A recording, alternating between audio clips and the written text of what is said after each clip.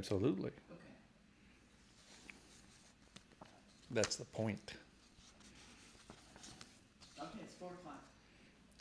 So hit that and then tell me go.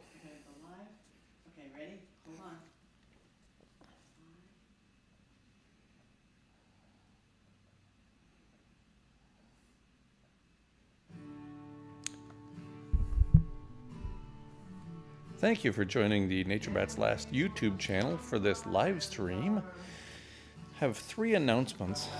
I'd like to start with we are seeking questions for Sam Carana for next month's Nature Bats Last radio show. I've already received a few questions, but I would appreciate a few more. You can send those to me via email or you can send them to Pauline via Facebook message. Question that you're not allowed to ask is Who is Sam Carana? And let's listen to the chorus of this song.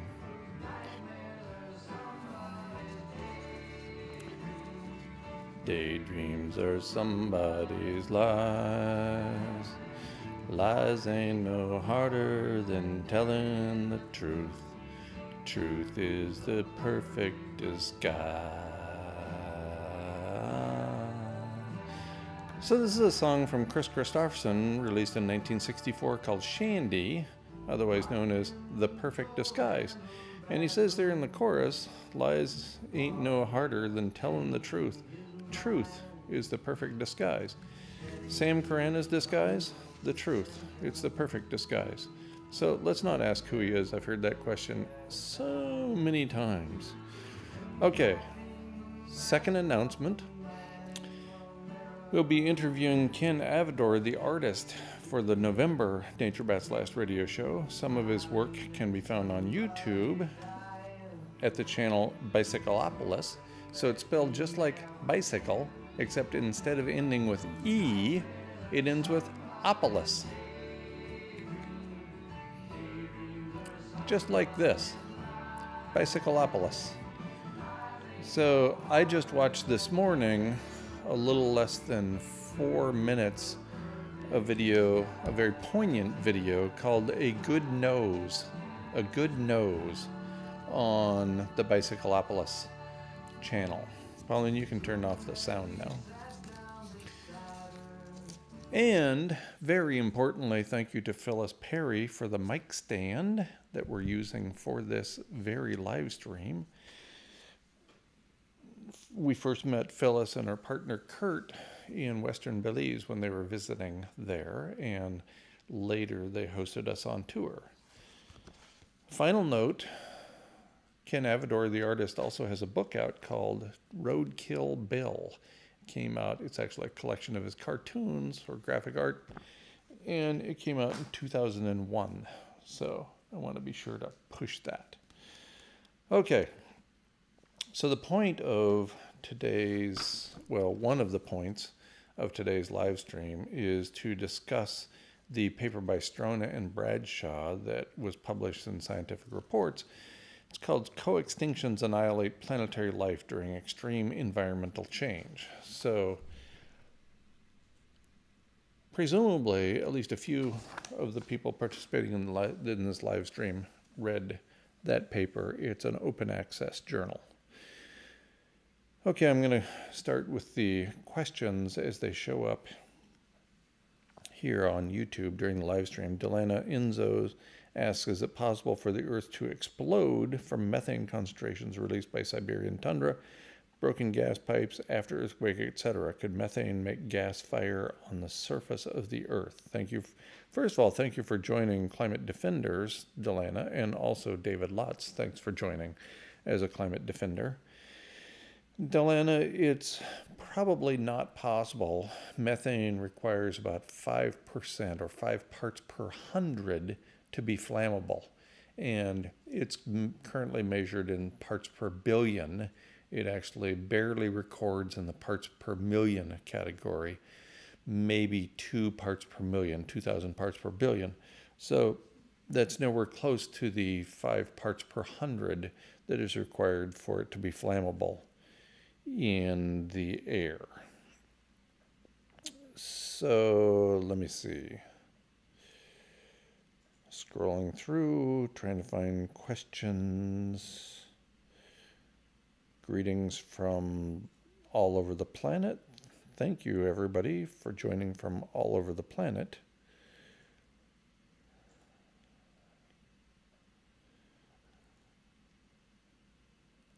Ask Sam if the perpetual rains will help keep the nuclear reactors from eating up the ionosphere.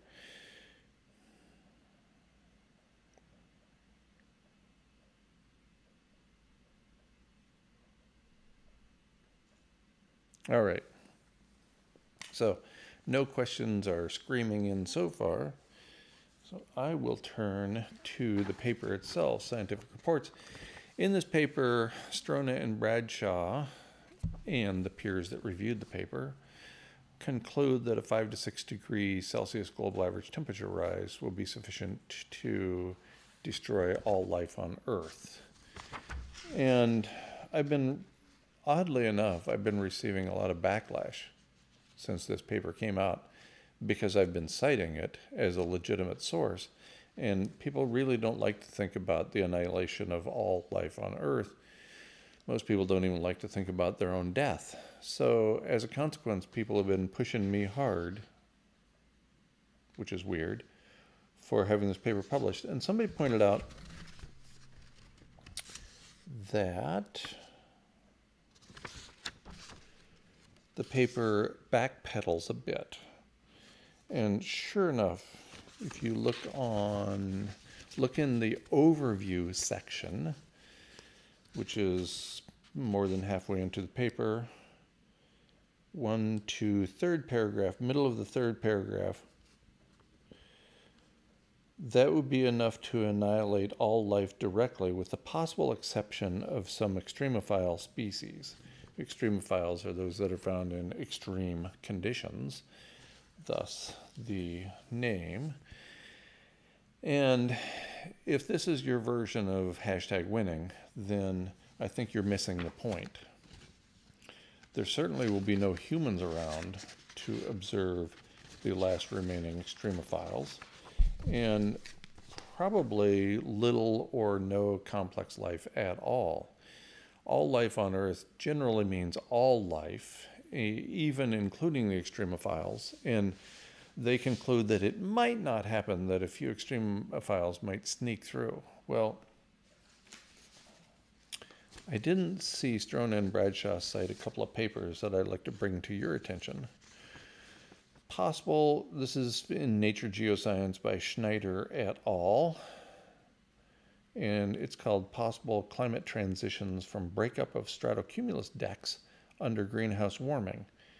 It was hmm, published in 2019, and it led to the 8 degrees Celsius increase in global average temperature that Sam Carana projects in 2026. So originally, Carana predicted, sorry, predicts, not projects.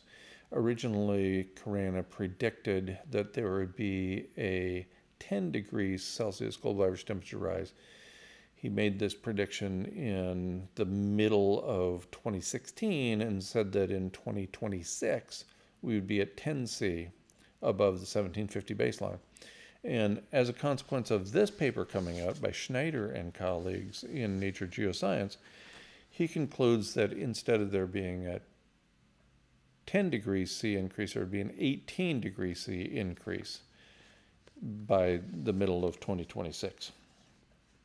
And that's a result of clouds being torn away from the atmosphere that would trigger a surface warm, warming of about 8 K globally, 8 Kelvin, which is the same as 8 Celsius, and 10 K, or about 10 degrees C, in the subtropics.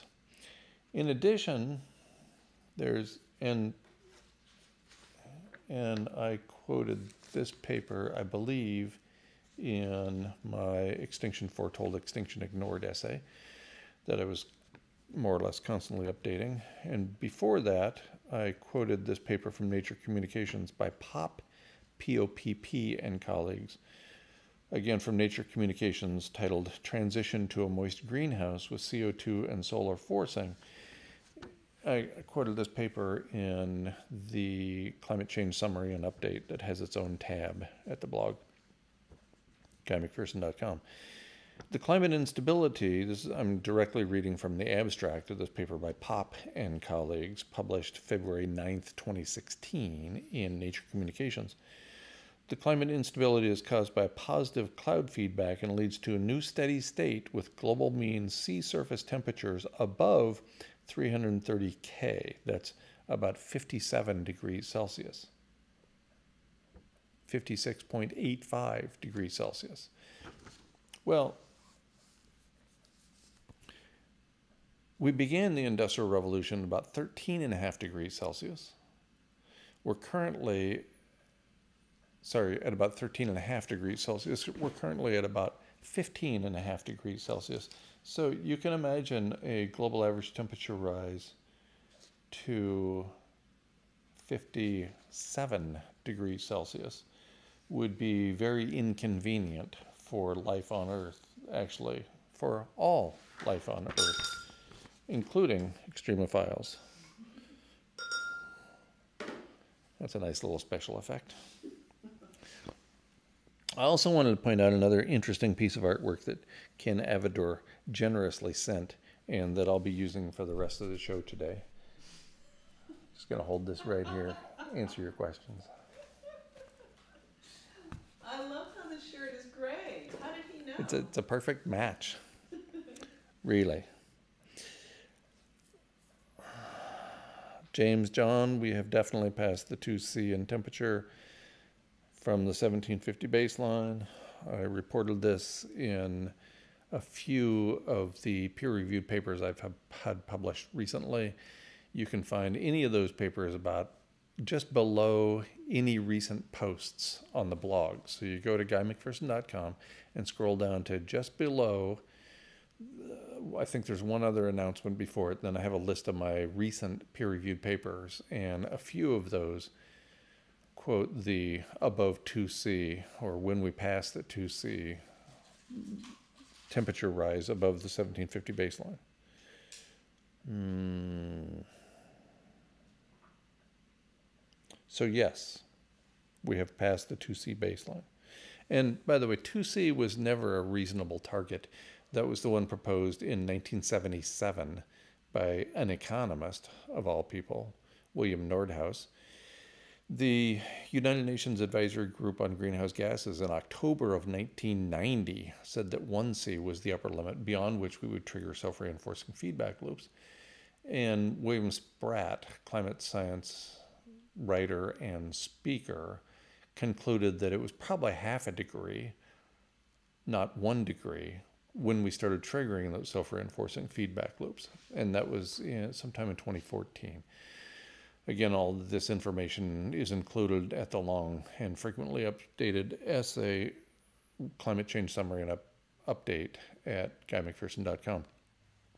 So we've long known that 2 degrees C was ridiculous, and yet the United Nations IPCC, Intergovernmental Panel on Climate Change, keeps trotting it out there as if it matters. It never did, despite what a, an economist concluded in 1977.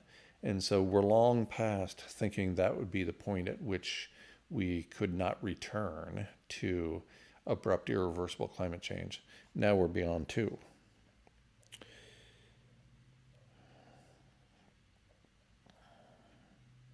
Joey asks, is the severe heat wave out west that is to be followed by a cold front on Tuesday a direct result of the lack of Arctic ice? I don't know. I haven't seen anybody connect those particular dots.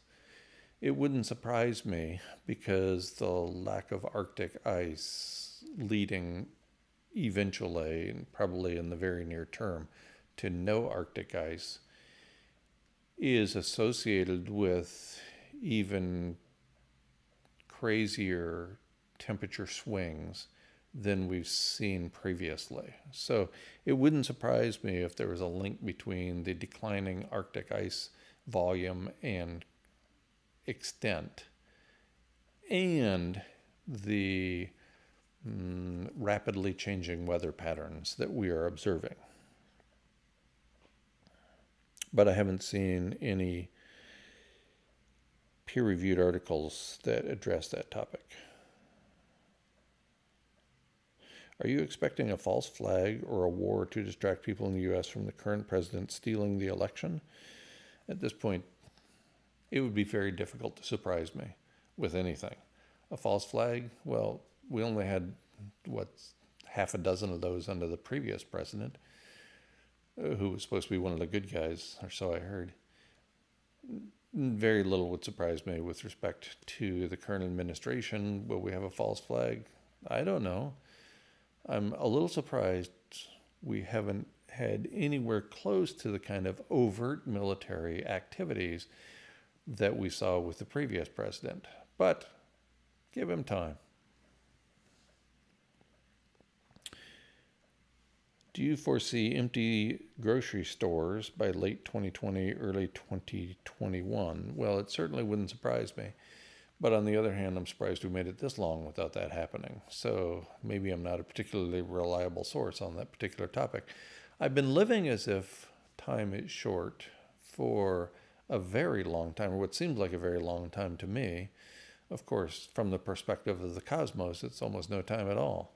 From the perspective of an individual human being, a few minutes, a few days seems like a very long time, particularly depending upon the conditions that you're exposed to during that time period.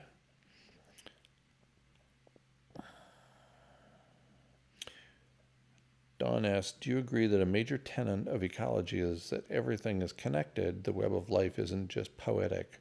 Our hubris seems to resist that. Yeah. I would say that a major tenet of environmental studies is that everything is connected. Ecology is the study of something. So, and this is this is a frequent misunderstanding that people have that ecology and environment are the same thing. They're not. Ecology is a focus of study or the, the study of a particular set of interactions. So, if we're talking about environment, I agree that a major tenet of environmental studies is that the web of life isn't just poetic. The web of life is not something that just appears in films. There is a series of interactions between organisms that are very important. And this was the focus of the paper by Strona and Bradshaw from November 2018 in Scientific Reports that the interactions between species will trigger additional species extinctions as a result of one or a few species going extinct or even being dramatically reduced in number. So it doesn't take an extinction event, as they say, it doesn't take an extinction of a species to cause other species to go extinct. It just causes a significant decline in the numbers of various species. And this is particularly evident and reported in the literature as they indicate with species that are called keystone species. So once a particular species disappears, it's likely to take a few or many other species with it. And that's because it is a seriously interconnected body of organisms that are out there in the world. And they have co evolved, thus, the idea of coextinctions. Of course, if these species co evolved, if they evolved together, then we would expect that as one goes extinct, another one or, or a dozen or thousands might go extinct as well. And that's because of this coevolution and as one consequence, co-extinctions. So I once explained to somebody that the difficulty in using the idea of unraveling is that you can pull a thread from your sweater you know, you see that loose thread and you pull it out and nothing happens. You just get rid of that thread. It was annoying the way it was sticking out there to begin with, and you can do that for any number of threads. At some point, you pull a thread and the whole sweater falls apart, or maybe just the sleeve comes off the first time. And that's a sort of similar situation that we face in light of co-extinctions. I'm actually surprised it took so long for a paper such as this one to appear. People have been focused on ecological research, modeling, field research, laboratory research for more than 100 years. And it takes until 2018 before somebody puts together these seemingly obvious connections that with coevolution comes the idea of coextinction. That as one species goes extinct, of course other species will go extinct because we alone depend upon many thousands, perhaps millions of species for our own existence. So does every other species out there. So it shouldn't come as a big surprise that when a species disappears, it takes other species with it.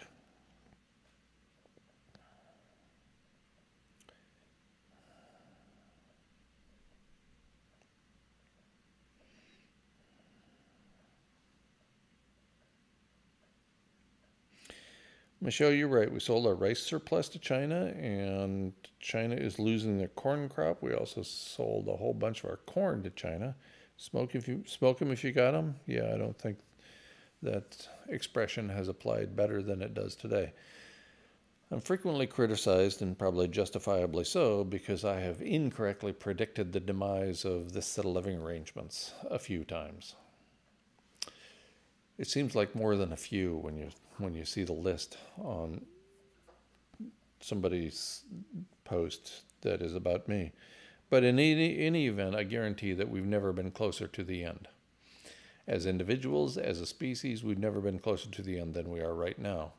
And smoking if you've got them seems like a fine idea to me. And I don't even smoke. Although I did once, for the first time since I was six years old, in that episode with Bill Nye for National Geographic Explorer, and that was, I don't remember what year that was, 2015, I think. September 10th, 2015. And I remember thinking, I've been missing out since I was six years old.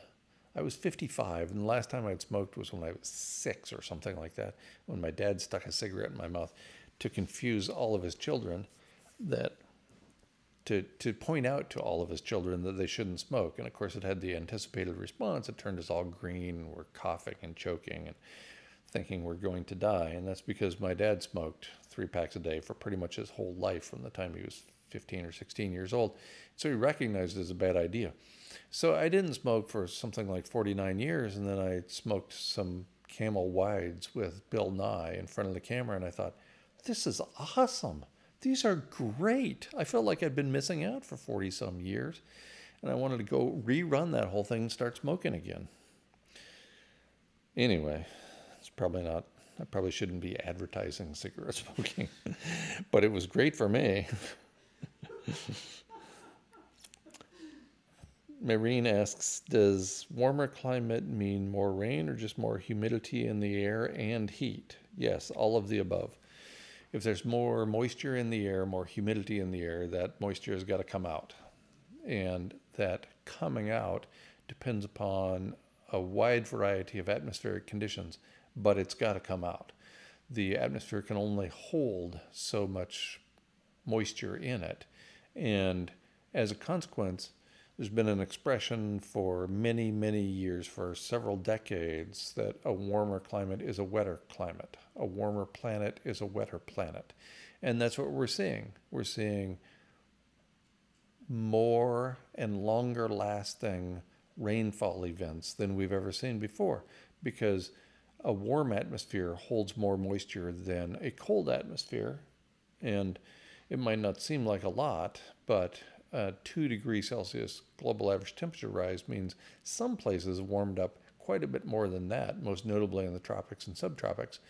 And once that moisture in the, is in the atmosphere, it has to come out at some point, and it comes out in the form of rain or rarely snow. So, yes, a warmer climate means more rain and more humidity in the air and more heat, obviously. Are there any new tipping points that have come to your attention lately? Something maybe you didn't see coming? Global dimming, dimming is something I didn't see coming until you pointed out. Yeah, global dimming was something that I didn't see coming either.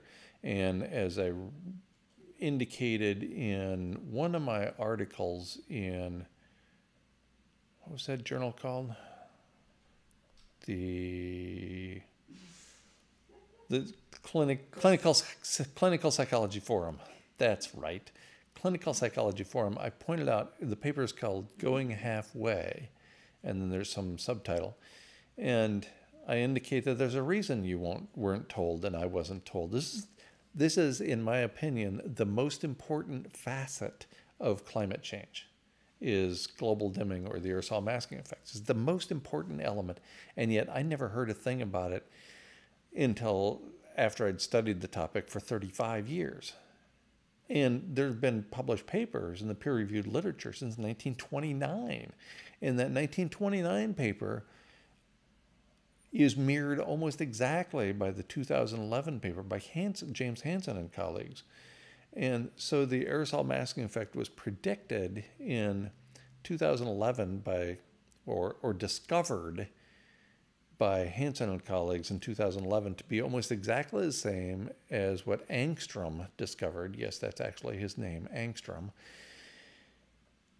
in 1929. So that tells me that the point of no return for all of us was more than a century ago. If the aerosol masking effect was approximately the same in 1929 as it was in 2011, which is approximately the same as it was a few years later, it's just that we've become better at measuring the aerosol masking effect. Well, that tells me that we couldn't go back to 1920 in terms of industrial activity and expect that to, to save us somehow. So that tells me that we reached the point of no return before any of us were born, unless you're more than 100 years old, in which case I'm still not going to blame you for the predicament in, which we find ourselves. So this goes back a long way, the, the notion and the study of the aerosol masking effect. And that tells me, given the documentation, that the point of no return was a very long time ago. Could all the forest fires burning particulates into the atmosphere offset the loss of global dimming from industrial slowdown? Yes, could be. And in fact, there's a paper I came across recently, I'm not going to be able to come up with the citation for it, indicating that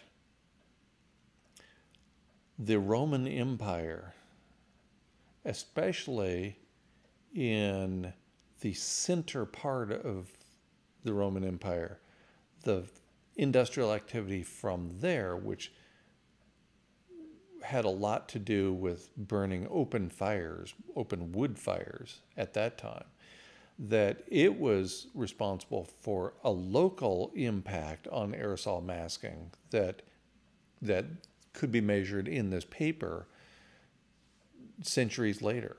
So again, this tells me that we have to go back a long time. We have to turn back the clock a long time to get to the point of, quote, no return and also the forest fires putting particulates into the atmosphere can have an impact today. And so they might be partially masking and overcoming the reduction in aerosol masking as a result of reduced industrial activity. So it could be that we're seeing this balancing act playing out Right, got too many wires here. This balancing act between reduction in industrial activity causing the aerosol masking effect to decline or global dimming to decline. And so that should cause increased heating. But if there's more fires burning, then that might be compensating for the loss of masking and making it seem sort of normal out there. Although 2020 doesn't seem very normal to me. A great picture the other day, the 2020 keyboard, and it showed a standard keyboard for for a computer, and it just had three keys with anything on them F, M, and L. That's where we are in 2020.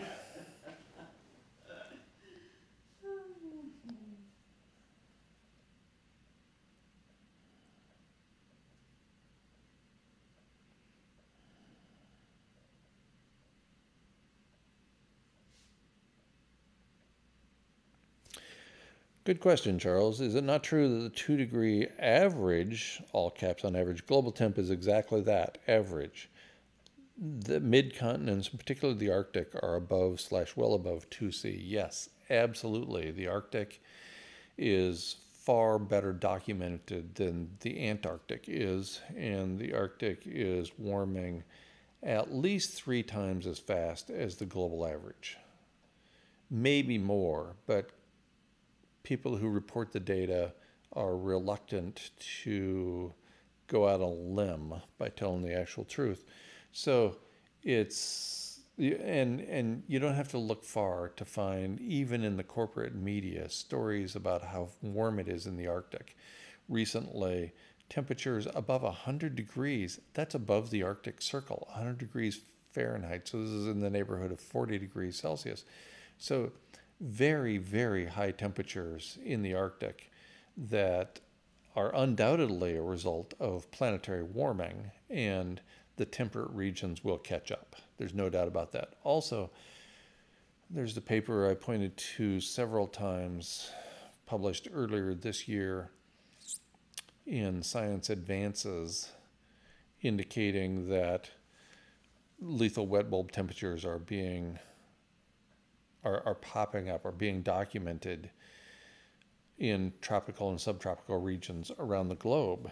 And of course, the corporate media papers that came out coincident with that paper being published indicate that this is 80 years ahead of schedule, as if nature has a schedule for us that means 2100 is when we're all supposed to die so that it that the paper was published in 2020 indicating lethal wet bulb temperatures were already playing out in the tropical and subtropical regions all around the planet is pretty bad news. And bear in mind that the arctic and antarctic regions are warming up much faster than the equator and tropical and subtropical regions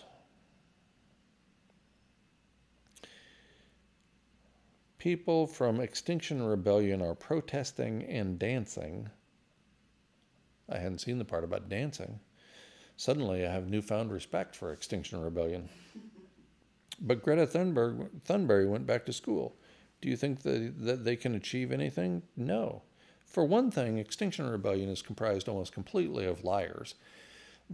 Liars who completely ignore the aerosol masking effect. We've had, there's more than two dozen papers in the peer reviewed literature on the aerosol masking effect. Recently, those papers have received a lot of attention, and I've pointed out several of those papers to the speakers and one of the co founders of Extinction Rebellion, and they just continue to ignore it. They continue to act as if I'm making the whole thing up.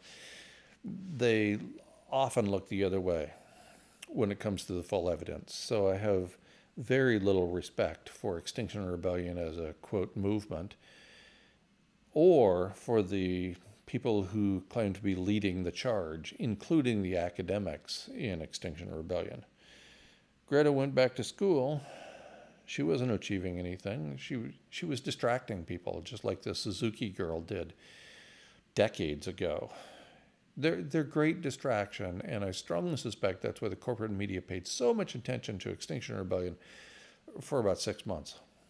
But then they disappeared. It was as if they were never even here for more than 20 minutes. And that's what the corporate media does. That's their job, folks. If you haven't figured that all yet out yet, then you're clearly not paying attention to the big picture. The big picture is the corporate media is part of the corporate government. It's part of the show, folks, as George Carlin called it. And it's only the, the, the primary product or products from the corporate media are confusion and disinformation. not presenting all of the information, presenting little slivers of it, confusing people, having you looking over here when the real action is over here. That's the point of the corporate media. That's why they're called the corporate media. Scott asks Do you think the trend of automated food production, such as growing food in shipping containers, is in response to climate change? Well, yes, the climate has changed. It becomes it is becoming increasingly difficult and in some places essentially impossible to grow food. And there are several places now in the subtropics and tropics where it has become impossible to grow food. This is these are places where people had lived families had lived for generations and had grown food. And now they can't grow food there anymore? At the same time, we're in the midst of abrupt, irreversible climate change? I think it's not too difficult to connect those dots.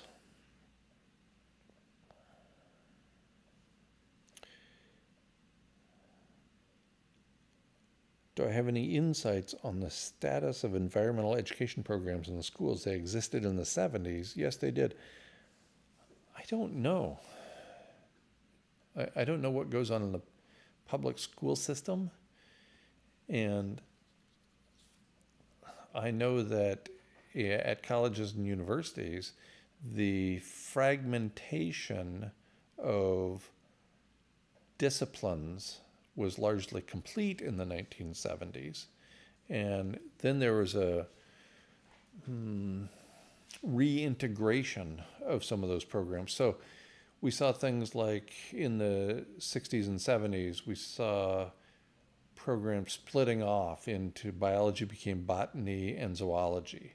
And then more recently, over the course of the last two decades, I'd say, we've seen a reintegration, maybe it's been longer than that, a reintegration of programs so that now we have evolutionary biology programs or ecology and evolutionary biology or just biology for the title that includes those former zoology and botany departments that are now integrated into the same department. But I don't know what's going on in the public school system or schools in general. What I've seen throughout the majority of my life and continuing today is a fragmentation of disciplines and subject areas at the college and university level. And I think that's too bad.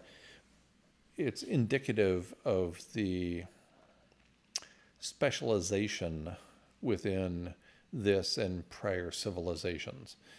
So the more specialized a person becomes, the more valued he or she becomes. And I think that's going the wrong direction. And that's one of the reasons I didn't fit in particularly well at the handful of universities where I taught was because I was bridging disciplines. I was taking a transdisciplinary approach instead of focusing very narrowly. And as I pointed out many times with a line I stole from somebody that so long ago I don't remember, the typical approach in academia is to study something more and more, and the subject area becomes smaller and smaller until at toward the end of it you know everything about nothing at all. And that's the typical academic approach is to have is to reward people who are studying increasingly fine narrow topics of interest and discovering everything about nothing at all.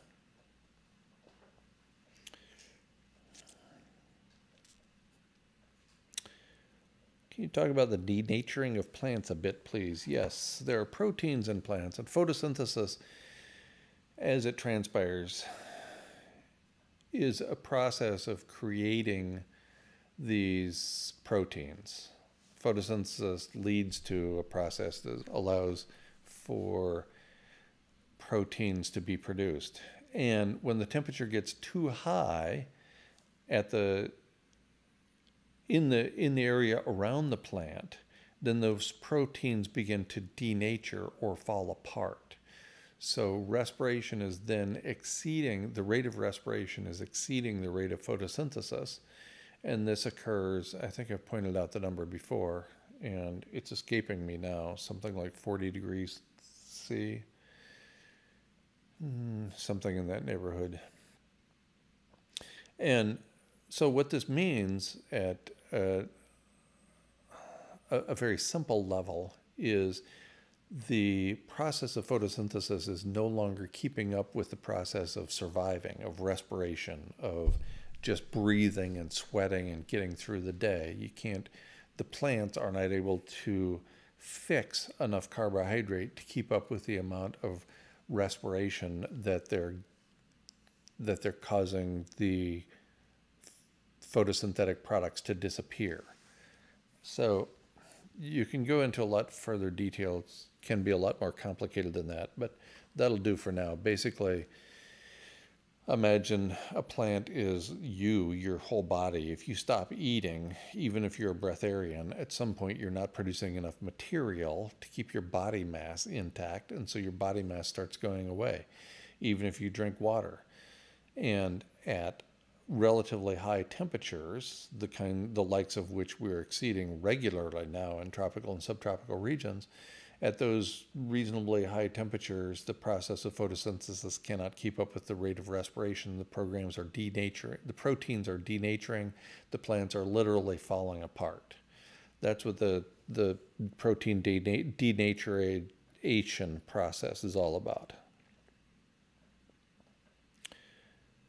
How far above actual ground level is the data for AGT? First of all, you need to tell me what AGT is. Are soil microbiomes hotter than the altitude from which the, is that average global temperature? Okay, average global temperature is, that must be what it is. How far above actual ground level? The meteorological stations in the United States are boxes painted white that have a thermometer, a max min thermometer, and a rain gauge in them. And that's that's the general one. There are more than 15,000 of those scattered around the country. And there are many of them that are far more sophisticated than that, that measure wind speed, for example, at six feet and 20 feet and so on, and do it relatively continuously. And there's the same thing going on with respect to precipitation and also temperature. But those thousands of weather stations around the United States and by extension around the globe, because it's a model that has been copied, copied by other countries, indicates the minimum and maximum temperature for the previous 24 hour period. Depending upon where you are, the the measures are supposed to be taken at 8 o'clock in the morning. So 8 o'clock in the morning Eastern Time, 8 o'clock in the morning Central, 8 o'clock in the morning Pacific. Those measurements are taken at the various weather stations. And I used to do this when I worked at a fire station, which had, which was designated an official meteorological station. So I would go out and there'd be a maximum thermometer. You'd see what it had bottomed out at, and then you would drag the the little device down with a magnet so that the next 24 hours, it would be measuring only within that 24 hour period. And then you'd look at the maximum temperature as well. Those are just a couple of feet off the ground. Our soil microbiomes hotter than the altitude from which average global temperature is measured? So the average global temperature is a, a collation of all that information from the weather stations. And it gets very complicated in terms of how the data are handled. But basically, the stations are only this two and a half or three feet off the ground. Are the soil microbiomes hotter? No, they actually tend to be cooler because a half an inch or an inch of soil, a, a centimeter or two centimeters of soil provides incredible insulative capacity. So you don't have to go down very far in the soil to eliminate variations in above ground temperature on a daily basis. The diurnal changes in temperature no longer matter once you're down there about an inch or so. or two and a half centimeters. So the soil microbiome, the soil ecosystem is more resilient to changes in temperature than is anything above ground. So the action occurs first, the changes are occurring first where we can see them. Are there changes below ground? Absolutely. And particularly when it comes to things like fungi and the intricate relationships between roots of all organisms and fungi, we don't even have a clue. But both of those organisms, the plants and the fungi, have bodies that are at least that are above ground at least part of the time with fungi, pretty much all the time with plants. And so what's going on below ground is relatively poorly studied and is undoubtedly dependent upon what's going on above ground. I strongly suspect that what is experienced or what actually occurs below ground will lag behind what's happening above ground because above ground is where the changes in the environment are happening far more quickly than below ground.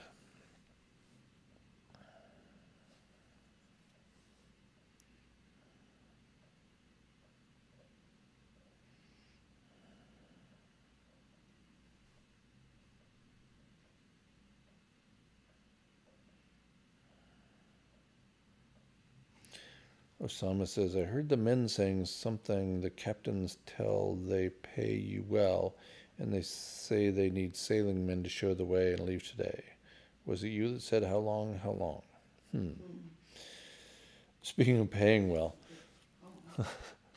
I read just a few days ago that I'm in the upper middle class, so I am not experiencing climate change like poor people are. Yeah, I haven't been paid for 11 and a half years. I'm in the upper middle class. Apparently, the upper middle class has changed quite a bit in the last few years. Whew, I wish I was in the upper middle class. It has. It's been bumped down a few. Yeah.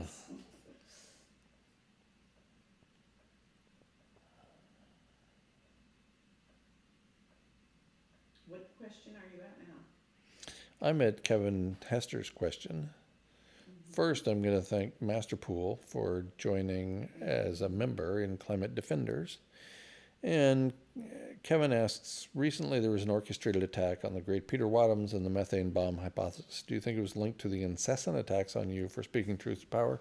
I think there, there has always been, within the time that civilizations have occurred on Earth, and up until the present day, speaking truth to power is generally a bad idea. Speaking truth at all. I mean, there's a reason messengers are killed. And these days they aren't killed so much as they are destroyed. The ability to get out their message is destroyed. But- them are killed. But it's pretty much the same thing. Yes, a, a few are still killed. But the deep state, and I'm not a paranoid conspiracy theorist for pointing that out that there is such a thing as the deep state. The deep state is far more sophisticated than it was in the 1960s, when the deep state killed two Kennedys and a, and a king in less than five years. When the deep state was responsible for the murder of hundreds, perhaps thousands of Black Panthers. The deep state is far more sophisticated today than they were then. Witness the suicide of Michael C. Ruppert. They didn't have to kill him. They just made had to make his life miserable enough that he would be willing to take his own life. So there is little need to directly, overtly kill people today for the messages they present. Does that mean there are not other activities that are going on to remove people from service? Of course not. I was the subject of a rather significant deep state campaign to have me removed from service a little over three years ago. And it was completely successful. It was sophisticated and very successful. I have been removed from public service. I was delivering presentations for free. And as a result of people like Cory Morningstar, Derrick Jensen, Mike Sleva, Luke Orsborn, the list goes on and on, Carolyn Baker. Now, I don't get any of those invitations. I'm rarely even asked to submit to an interview in corporate media outlets. And when I am asked, occasionally I'm unasked shortly thereafter because somebody gets a memo. So, speaking truth to power has always been a bad idea from the standpoint of the speaker and what happens next in their life.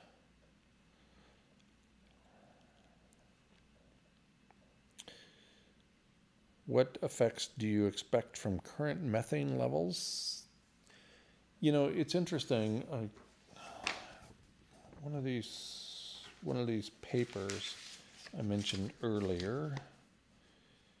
Mm,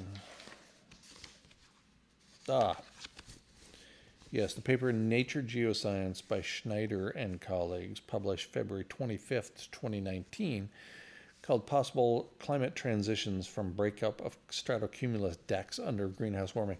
Climate transitions, that's a really interesting and, and mild word for it. And what they predict is when CO2 levels rise above 1200 parts per million, that will trigger a surface warming of about 8C globally and 10C in the tropics we're already above 1200 parts per million carbon dioxide equivalent in the atmosphere. And the equivalent part is important here. And a big part of that equivalent comes from methane. I think last I checked, we were at slightly below 2,000 parts per billion methane in the atmosphere. Let's just assume we're at 1,500, which is too low. So if we're at 1,500 parts per billion, methane in the atmosphere, that translates to 1.5 parts per million. And methane is more than 100 times more powerful a greenhouse gas than carbon dioxide is, molecule for molecule. So that 1.5 parts per million is really 150 parts per million. If I'm doing the math right, and there's no guarantee of that. And so tack on 150 to the more than 400 parts per million carbon dioxide in the atmosphere, just based on those two greenhouse gases alone, we're at 550 parts per million CO2 equivalent right now. And that's a very conservative estimate based on only 1500 parts per billion methane in the atmosphere.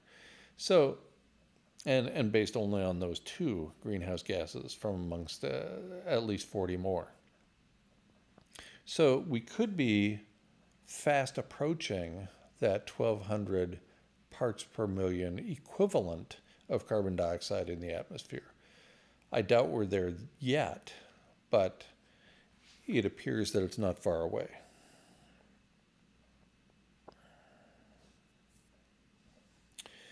Do you think that all the fresh water on the Arctic Ocean might be a feedback because fresh water will freeze first, thus creating an insulation barrier between the cold air and salt water below?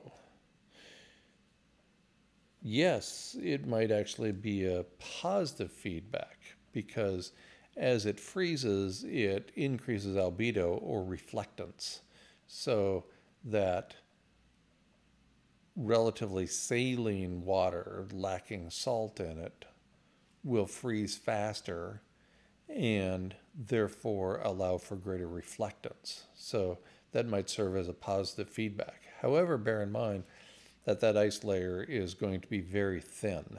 So the water coming off Greenland, for example, and Alaska and northern Canada and Siberia that water is going to mix relatively quickly with the salt water in the ocean and it's not going to be around long. Even if it grows to an inch or two thick, it doesn't take much to cause the melting and the breakup, you know, the next significant storm in those kinds of conditions might remove all of that ice. So, yes, it might well serve as a positive as as a I don't want to confuse terms. It might well serve as a feedback that increases albedo and therefore slows the ongoing rapid climate change. But that's counting on a lot of hmm, information that I don't think we have full access to, as well as the a, a stable ice mass at the surface that might actually not be very stable. Do you see society going towards the end, chaos or ordered? Will there be a critical mass moment, or will the masses just wonder why the price of food keeps going up? That's a great question.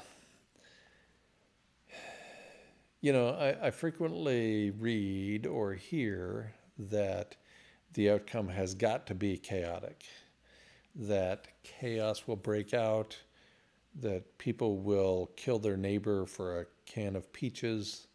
And don't get me wrong, I'm a huge fan of cans of peaches. And but I but there's no guarantee that that will be the case. We have seen throughout history moments of extreme duress at the level of communities, maybe even at the level of society. And the response throughout history has been the same. Some people respond and become even worse actors than they were before. Some terrible people become even more terrible as a result of chaotic conditions. And some people don't. Some people become kinder, more compassionate, more willing to serve than even they were before. What kind of person are you? What kind of person will you become? You've had the warning. A lot of people have not had any warning. And that's one of the outcomes of my being removed from public service is we have fewer people informed now than we would have had. And that's by design, obviously. But you have the opportunity, to the extent that you have free will, to the extent any of us have a significant measure of free will, you have the ability to take actions that reflect well on you and on our species as we spiral into the end. How are you going to act?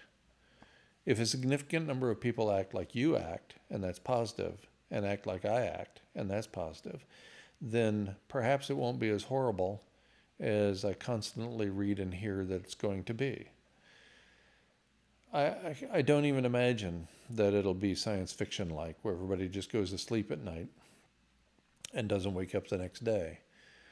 But on the other hand, I know it can be better than the worst that I see. And I know that based on the actions of many people throughout history.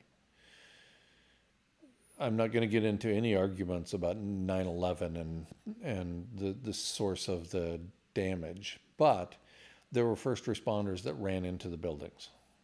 They ran into the buildings that were collapsing. That's all I need to know about how certain human beings respond in the face of an emergency. Will you be one of those people running into the buildings as they collapse? Will you be one of the people who who kills your neighbor for a can of peaches? I don't know. I have control over me, and probably very little of that. But that's what I'm going to try to focus on.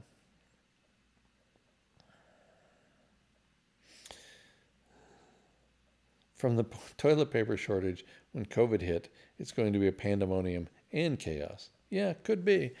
And again, that wouldn't surprise me. Depending upon where you live and how you spend your days, and this this just this for me is just one further indication that I need to be spending my days living with urgency. I'm rereading Doug Peacock's book, Walking It Off, and he's constantly reminding me that in taking care of the death of his friend Edward Abbey, he was being reminded to live with urgency. And so that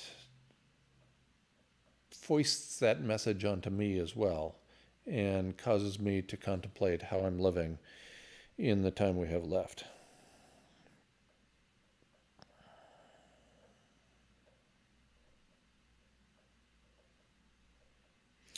You are not current with Extinction Rebellion, and you obviously have not watched Roger Hallam's new film, nor would I. People evolve, and so do protests. Please stay current in your field. Extinction Rebellion is not my field. These are people who have lied repeatedly throughout their entire existence. And their number one demand of governments is to tell the truth. Really? When have you never ever known a government to tell the truth? Ever. I haven't ever known a government tell the truth. So if that's your demand and you continue to lie yourself, as Extinction Rebellion has done since they formed, then I don't have a lot of faith in Extinction Rebellion or anything that looks like Extinction Rebellion.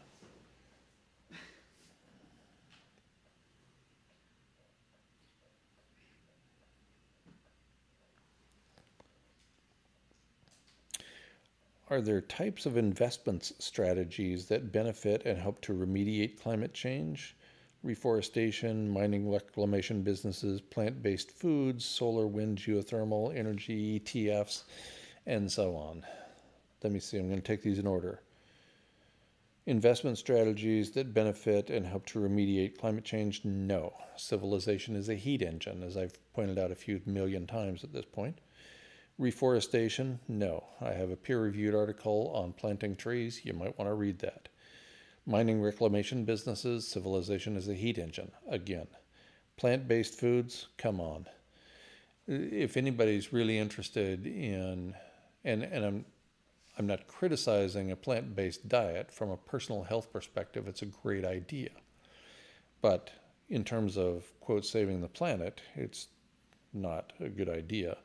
I would encourage you to track down my essay, Single Issue Pursuits, and read that for an overview, now a little bit dated, about how ludicrous plant based foods will be with respect to, quote, saving us from abrupt, irreversible climate change. Solar, wind, geothermal energy, blah, blah, blah. No, no, no, no, and no. Again, for the 10,000th time, civilization is a heat engine, as demonstrated by at least four peer reviewed papers by Tim Garrett, atmospheric scientist at the University of Utah. And slowing down civilization heats the planet even faster, based on loss of aerosol masking as little as 20%. So, none of that helps. No more hopium, please. George asks, why do you think the ruling classes aren't taking this information seriously when their own lives and families are at stake? I imagine they are taking it very seriously. Let me repeat myself for about the 3000th time. There is nothing to be done. At the level of society, there is nothing to be done. If a billionaire wants to pour some money into this, fund the project being headed by Dr. Ye Tao at Harvard's Rowland Institute. That's the one Hail Mary pass that might get us out of this. I doubt it, but it might.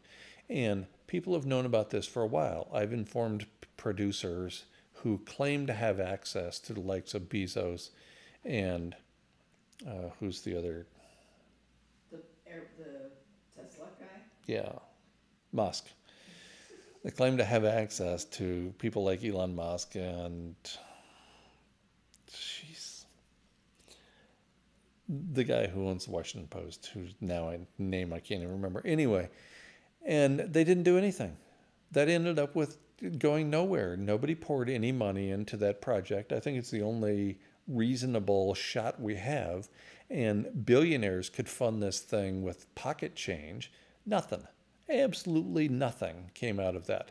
Why? Because civilization is a heat engine, and reducing civilized activity, reducing industrial activity, heats the planet even faster. I'm not the only person that knows this. Apparently, half the people participating in this live stream aren't aware of it, but maybe you are now.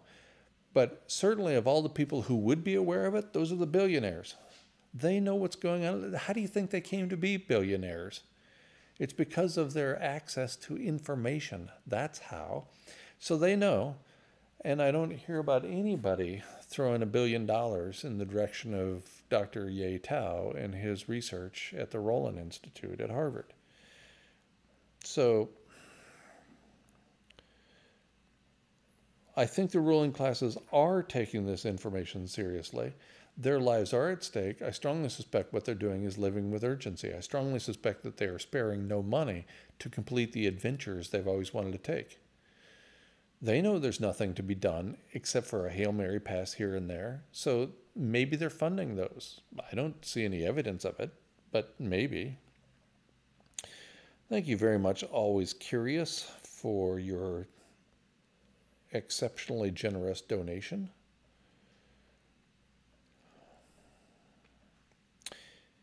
In an ideal world, asks Brooklyn Culture Jam, and yes, I know who you are. How would you want societies to react to the news of NTHE? In your writing, you said, as the last generation, we could be the best. What would that entail?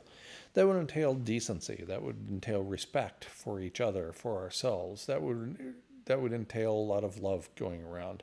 That would entail the best of human behaviors. The best. That would entail wearing a mask when you go out in public. That would entail not being concerned about getting the last nickel from your neighbor. So there's a thousand different behaviors that we can talk about. There's a thousand different acts that we each can take on a weekly basis. And many of those acts will make life worse for the people around us and therefore for us. And many of those acts will make the lives better for the people around us. So I would encourage and have encouraged people to do the latter. I don't know what they are, but there are some people who seem to be committed to a life of service, no matter the cost. And I have great respect for those people. There are people we all know who are working with homeless people, for example.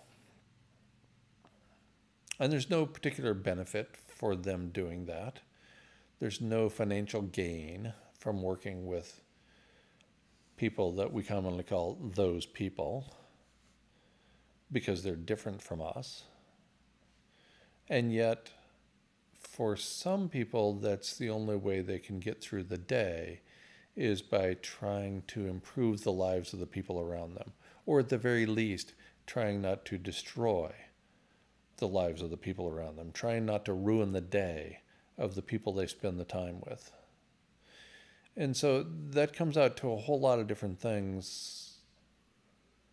And I've written for a long time at great length about this topic and spoken about it now and then. But I think we all know what's the right thing to do in a particular situation. And let's just keep doing the next right thing that emerges before us. I think that's the best we can hope for, the best we can wish for, the best we can be.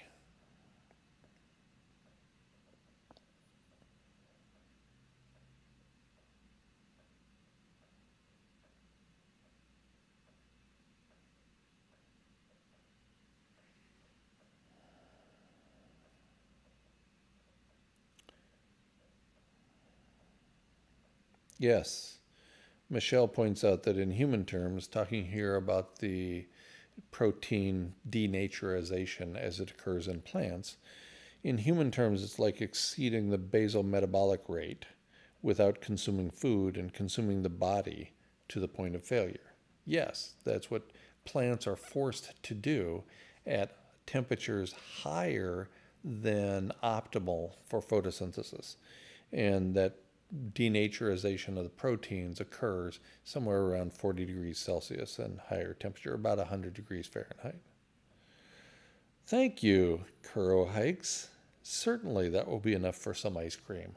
And apparently you know me all too well. Do I think the masking effect impacts will move with the seasons? I think it it did already this year. There was significant loss of masking over Wuhan and the area around Wuhan, where industrial activity was initially decreased. The next place that occurred, and and and this is reflected in spikes in temperature in each one of these places as well. The reduction in industrial activity was difficult to measure in some places, so various proxies were used in terms of atmospheric components. But first in the area around Wuhan, next in India, next in a relatively large area in Eurasia, ultimately in North America, most notably in the northeast United States. There were significant declines in industrial activity that corresponded with spikes in temperature. I suspect that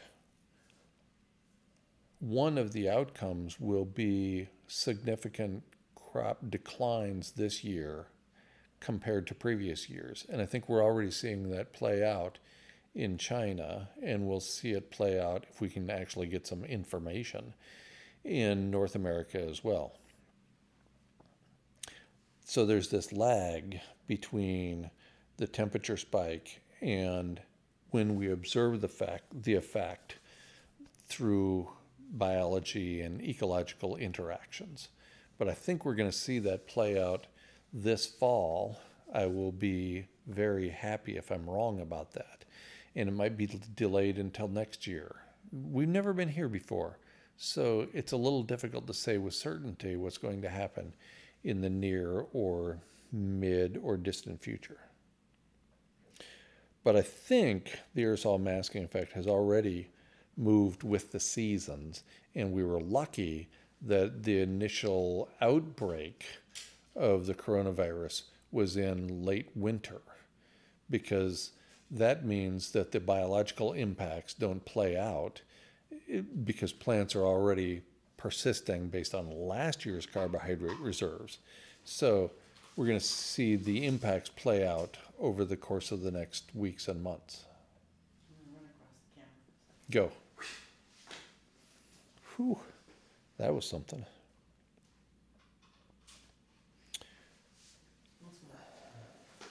Do you think the the new ocean discovered 400 miles below the Earth's surface could contain life? This is the first I've heard about a new ocean discovered 400 miles below the Earth's surface. But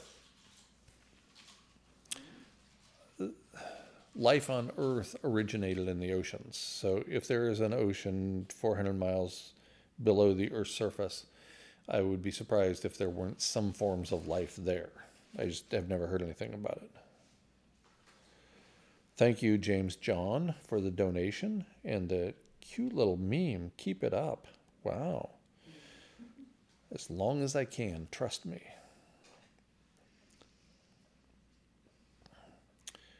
S2 Sailing Free, thank you very much for your donation. And I'm sorry to hear about the loss of your child. Um, my partner Pauline is taking the approach that you took, which is, as nearly as I can tell, to let her children live in ignorant bliss in the time that remains. It hardly seems like all that remains is love. Yeah, I would certainly agree with that. There's a lot of mm, unlovely people out there and a lot of actions lacking in love. But again, I have control to the extent I have free will over only my own actions. I could criticize all day the people who are acting badly. Many of them used to be very close to me. I suspect we all know people who fit into that category. All we really have the ability to control, and there's some question about how much control we have over that, is us, is ourselves and our own actions. How are you going to behave? What are you going to do? That's it. Thank you, Kevin Gensch, and welcome to Climate Defenders. Thanks for joining as a member. Kevin asks, do you think we will make it at least to 2035? No, absolutely not. I, I believe that the last human on Earth will die sometime in 2025. I think most of us will die before then, and that might be this fall as a result of the crop failures, or might be the fall after that. You know, the the coronavirus accelerated what was already underway through the loss of aerosol masking, through the loss of global dimming. But it's not as if it came without warning. I wrote about it more than 13 years ago at Nature Bats Last. So when when we talk about the end being near long enough, at some point the end isn't near, it's here. And I suspect we are very close to that point. And I'm not pleased about that, obviously. My life is going swimmingly. Thank you, Nicey J, for your incredibly generous donation. Andrew Glikson, yes, had us at CO2 equivalent of 560 parts per million. That was at least a year ago. And that was including only a couple of the greenhouse gases as well. And I think we're nearing the end here. We're 15 min minutes beyond the point we said we were going to carry on. I'm trying to find any more questions. Thank you back to Earth for the donation. And I don't see any more questions.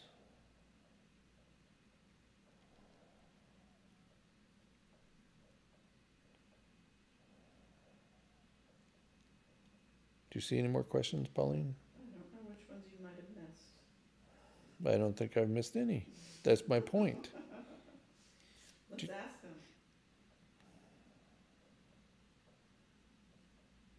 Tell me what you think you see, Pauline. I'm just asking them right now. Well, in addition to that, oh, there's a question from Kevin. Is there hope? No. Hope is a bad idea anyway. hope is a mistake and a lie. Hope is just a, a re, it's just, why? Why? Hope is wishful thinking. And I know I'm the bad person for pointing that out, but look at the definition. Hope doesn't give any hope. Hope is like the, the other biblical associates faith. and what's the other one? Love, Love, whatever. faith.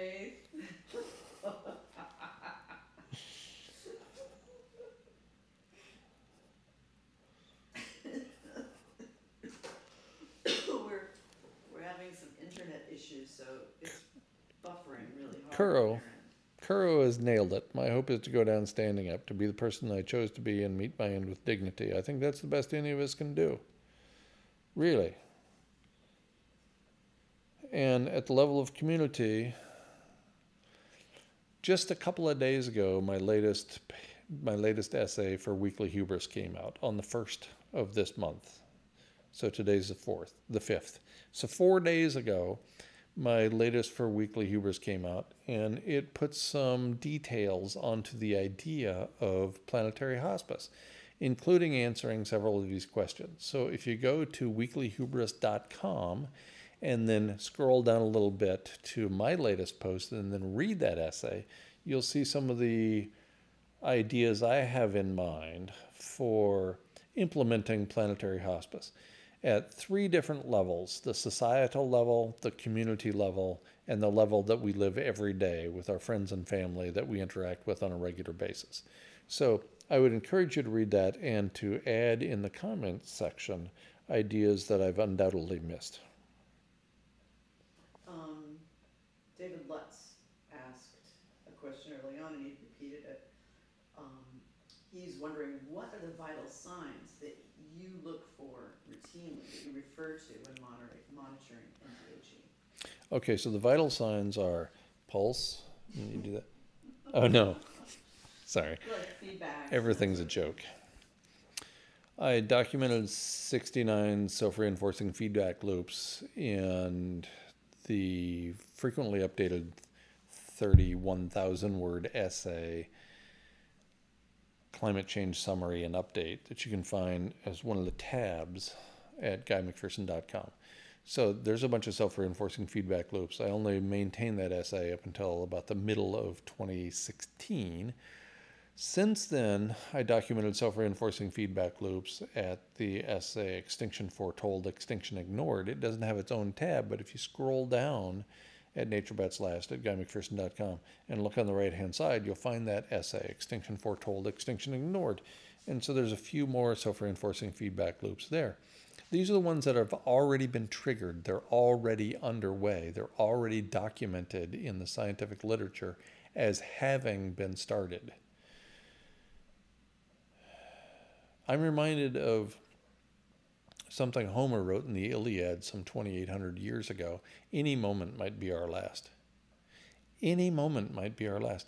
And he was writing that following the paragraph before, he'd written that the gods envy us. Wait, what? Any moment might be our last. That's why the gods envy us. The gods have to suffer through this whole thing with nothing new, with knowing that they will never die, ever. They have to go through this forever. Any moment might be our last. That encourages us, or at least it encourages me, to live and to live fully and to stop and smell the flowers. Because if any moment might be my last, then by extension, any flower I smell might be my last. So I would encourage each of you to find what you love and to do it and do it well. And stop and smell the flowers along the way. Any moment might be your last, might be our last.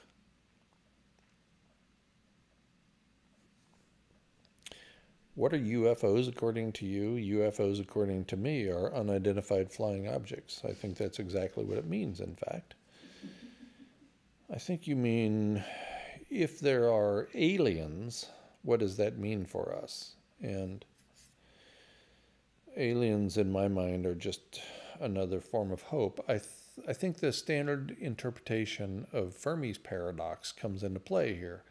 That is, by the time a civilization becomes sophisticated enough to conduct interstellar space travel, it also becomes sophisticated enough to commit planetary suicide. And so I don't think we're seeing a lot of alien spaceships for just that reason. And I think we don't. We won't in the future for just that reason. And that certainly is what happened to us. At some point in our history, we might have been able to sequester and secure enough energy to put humans into space, to participate in interstellar space travel, and we're beyond that point now. We don't have enough energy to take on that task, and that's because we have committed planetary suicide. And I suspect we are not the first. Whereas Ye Tao, Ye is spelled Y E, and he's at the Rowland Institute at Harvard University. Not Y-A-E. Y E T A O, two words.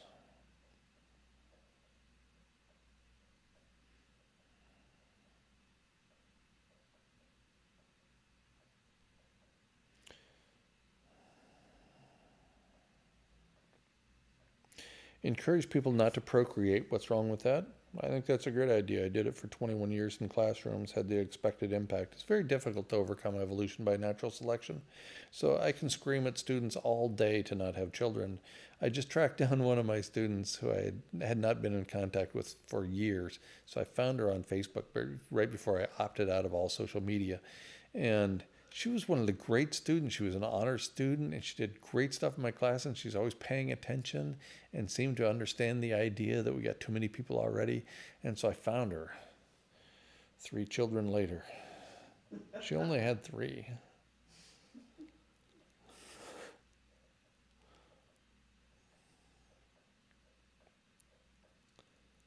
And,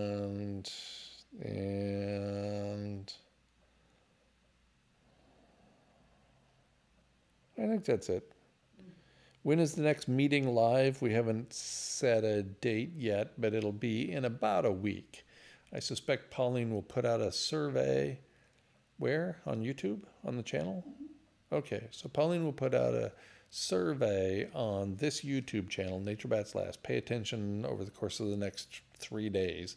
Vote for the best day and time for you and we'll try to fit that in. Be within a week, plus or minus a couple of days. So look forward here. I will announce it on the blog as well, guymcpherson.com. Do you let people know we're going to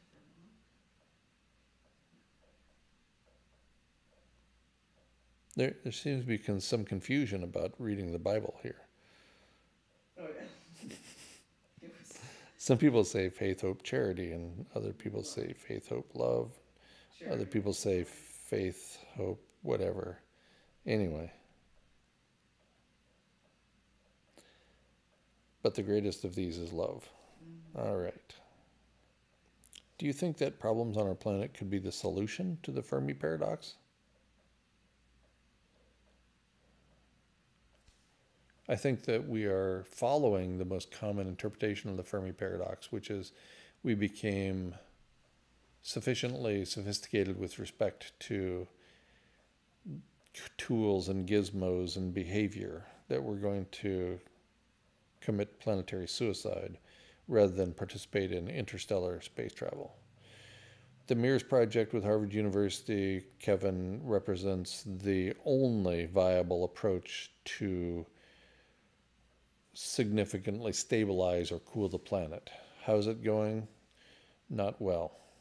Mm, primarily because there is not a single billionaire who is willing to invest the pocket change necessary to keep the project afloat. That's the first reason. The second reason is that academics tend to be very conservative.